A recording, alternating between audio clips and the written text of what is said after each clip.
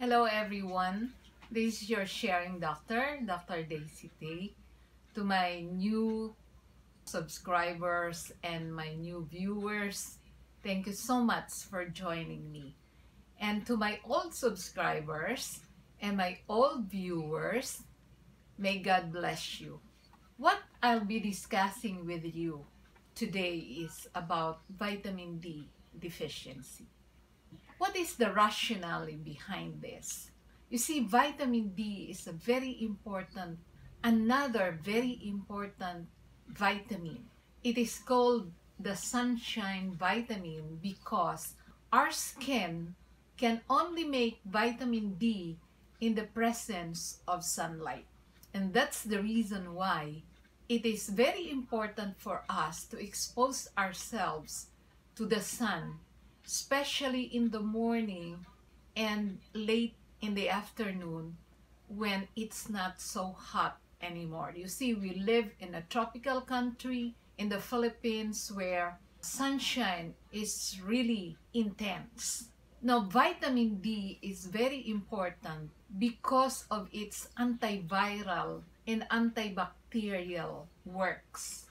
Today, we have the pandemic and many research have found out that vitamin D can keep this COVID virus.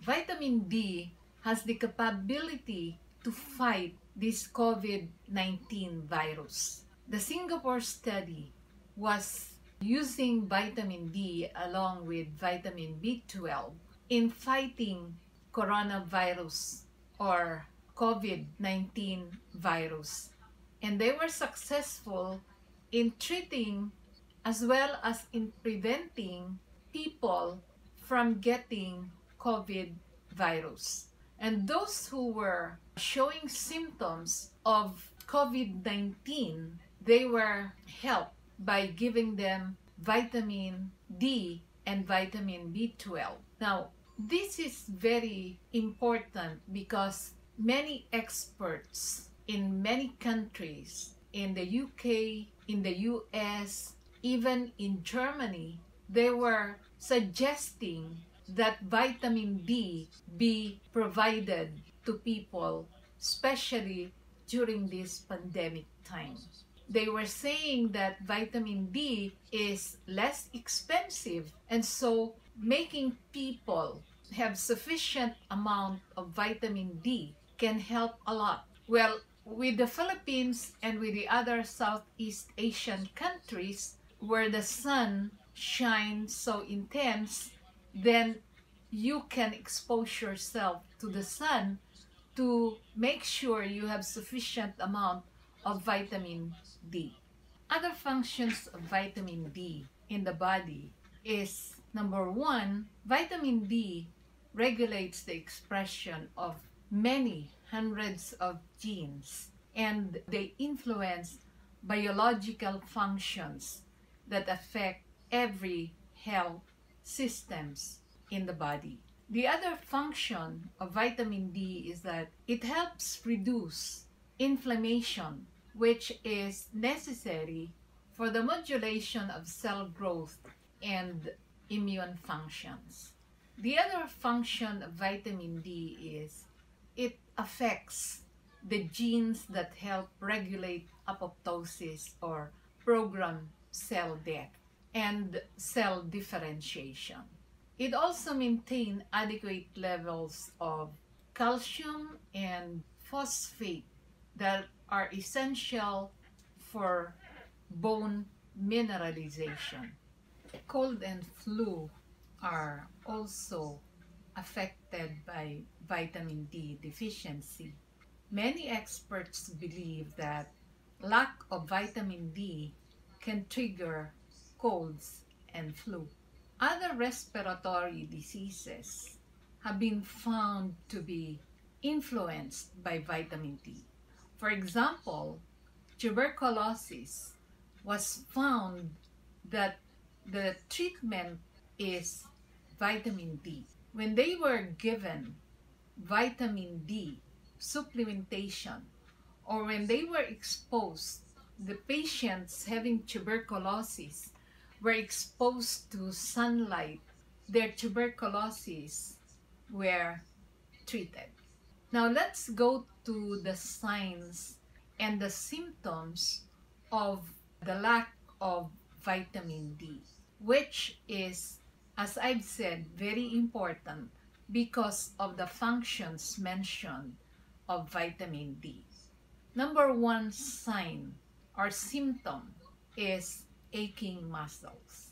Many elderly people complain of aching muscles. And this was found to be due to the insufficiency of vitamin D. Another is painful bones.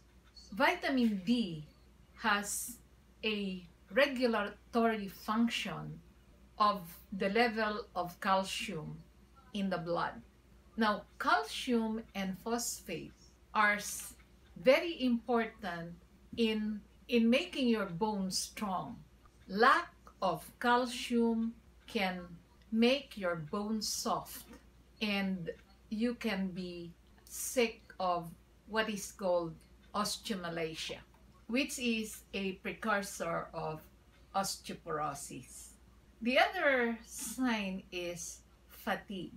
Many people, whether young or old, have this health condition of fatigue. They also have sleep deprivation. And researchers have found that supplementing with vitamin D or patients suffering from fatigue can improve their symptoms by exposing themselves to the sun. Well, in the United States and in other temperate countries, this condition is very much felt, especially during winter times, because they don't have sunlight. And so they supplement with vitamin D to correct the situation. Another sign of vitamin D deficiency is poor sleep. It was found out through research that people with vitamin D deficiency always have sleep disorders.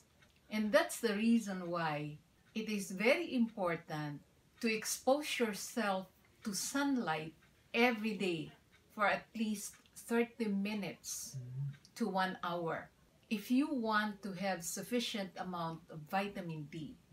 The other sign of vitamin D deficiency is sweaty head.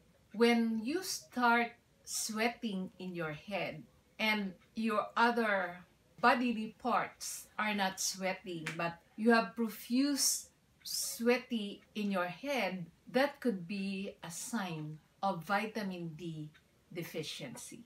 Another sign is hair loss. You see, vitamin D has a, an influence in the proliferation of keratinocytes. And because of that, when we lack vitamin D, we lack keratinocytes. And that could be a start of hair fall or hair loss. Another sign is a lack of vitamin D can impact brain health.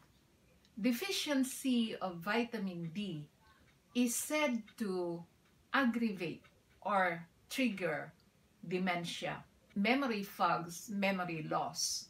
It was found out that the lack of vitamin D has caused the proliferation of soluble and insoluble beta amyloid plaque, which is a factor of Alzheimer's disease.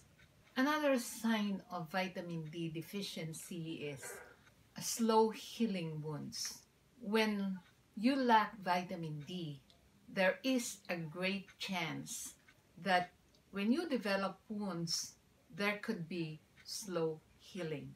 And it is established that chronic wounds are major public health challenge. The other sign of vitamin D deficiency is heart problems. You see, when you lack vitamin D or when you are deficient of vitamin D, your nitric oxide is compromised. Vitamin D is necessary in the balancing of nitric oxide concentrations, which improve endothelial function. Nitric oxide is very necessary because it dilates arteries and veins and therefore a sufficient amount of nitric oxide in the blood can lower high blood pressure. The other sign, and I think the last sign, this the last sign of vitamin D deficiency is recurring infections.